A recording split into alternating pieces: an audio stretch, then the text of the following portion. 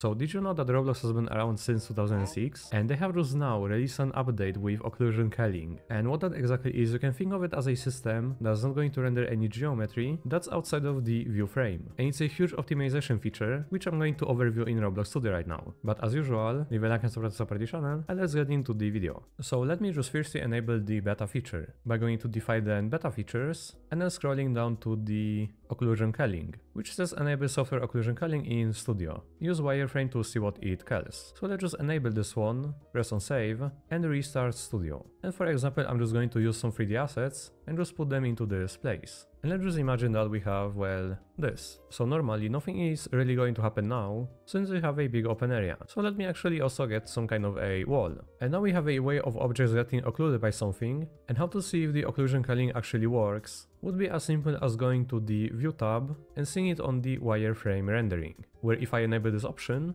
right now we are able to see most of these assets, but if I were to move for example behind this wall right here, you can see them disappearing. And now the engine doesn't have to render all of that geometry, because it's basically not visible. And I'm just going to do a quick presentation on occlusion culling while going alongside this wall. Since there is going to be the window and the door that we can see the objects through, but it's basically just going to go like this.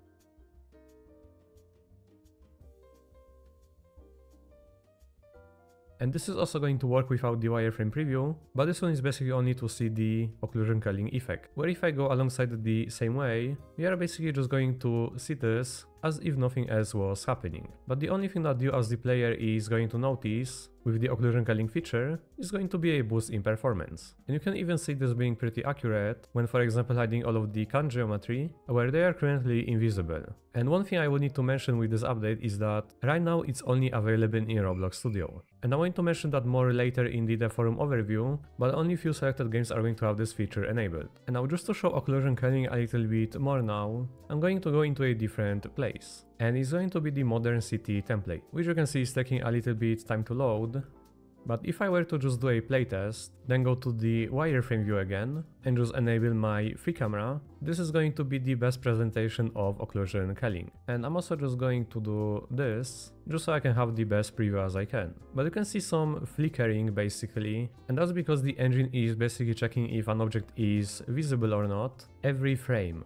But for example, the geometry in this building, like if I were to just go to the workspace and get all of the interior assets from this building, this is going to be how much of the geometry the occlusion culling feature isn't going to render just from this building alone. And all of these assets, they aren't like only chairs and tables. You have even the candle models like the plates right here and a very detailed environment. And why am I in a car right now? Anyways. And you also have all of these different buildings that are not going to be rendered. And you can probably imagine that this is going to be a huge boost in performance, since if I just zoom out, this place has a lot of assets. And right now it's only going to render the things in my viewport that I am seeing right now. And I can for example disable the occlusion culling feature and just to compare it without the occlusion culling, right now with the feature enabled, I have around 150 or 160 FPS, but if I were to go to the beta features again, disable occlusion culling and restart studio,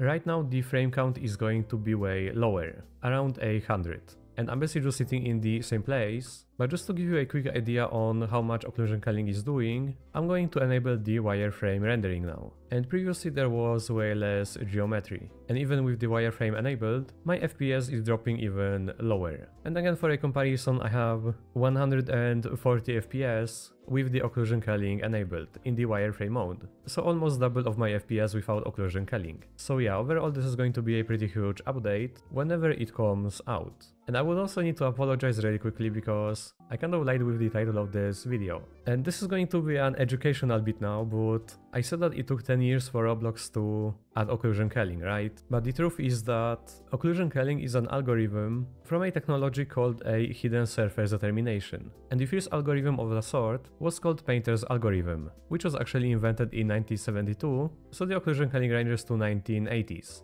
So in reality, it took Roblox around, I would say 20 years. But I mostly just wanted to compare this to other game engine occlusion culling features, where Unreal Engine 4 had hardware assigned occlusion culling added in 2014, and Unity 3 had in a building occlusion culling feature added in 2010. But yeah, that's what I was basically just basing it off of. So that's everything for the scale of the update, and now for the bit more boring part I'm going to go to the dev forum, where we have the studio beta introducing occlusion culling where the Roblox staff is saying that they are basically excited to announce this feature, and that occlusion culling is an optimization that prevents rendering objects that are hidden behind other objects, and it doesn't require any work from you. The engine will automatically detect which objects don't need to be rendered, and it's currently in production in only few experiences, and we basically need to wait for them to release it to everyone, since this is only a studio beta for now. And here is a note saying that enabling the beta feature will only enable it in Studio. But continuing, we have a preview of what the occlusion culling actually is, and this is a default preview, and this is the wireframe preview, and here is with the occlusion culling. So you can see that all of the furniture, as well as the buildings in the background, are not going to be rendered, since they are not currently visible. And here is on the how to use, which we need to enable this as a beta feature which I already shown, as well as the other thing which is going to the view, and then the wireframe rendering. And here is an explanation on how everything works, as well as a way to compare it by enabling and disabling the beta feature. But now there are some limitations with occlusion culling, and here they are saying that it only works on meshes and parts, excluding avatars for now. It cannot cull the following objects at this time, and you have avatars, terrain, lights, VFXs and user interface. So avatars is pretty self-explanatory. The terrain is kind of understandable since it's geometry generated on voxel data. The lights are kind of understandable too, since you would basically need to render the whole volume of where the light is shining, and there also might be some problems with, for example, shadows. Then the VFXs, which would be for particles, beams, trails, and so on, and UI for surface and billboard GUIs. And I think these two already don't render behind certain objects, like for example glass, so I'm guessing that there might be some interference. And here they are saying that they intend to extend the occlusion culling technology to cover more object types in the future. And here is a performance tab, where the performance benefits of occlusion culling can vary from one place to another and between different viewpoints within the same place as well. And viewpoints with a lot of occluded objects will benefit the most since we can avoid rendering those objects, for example places with interior or buildings, where objects are often hidden behind walls. And for the other viewpoints, they may not see performance benefits since there are not many objects to cull. For example places with wide open areas such as an arena. And a heart emoji with made with love by the engine team. Also saying please let us know if you experience any issues with occlusion culling in the studio beta. For instance, please report if your experience runs slower on test devices, as well as if some objects don't appear and you don't see them blink in and out. And providing example RBX files are most helpful to let us fix issues quickly and the RBXL meaning the Roblox place file model. But yeah, that will basically be everything for the occlusion culling update.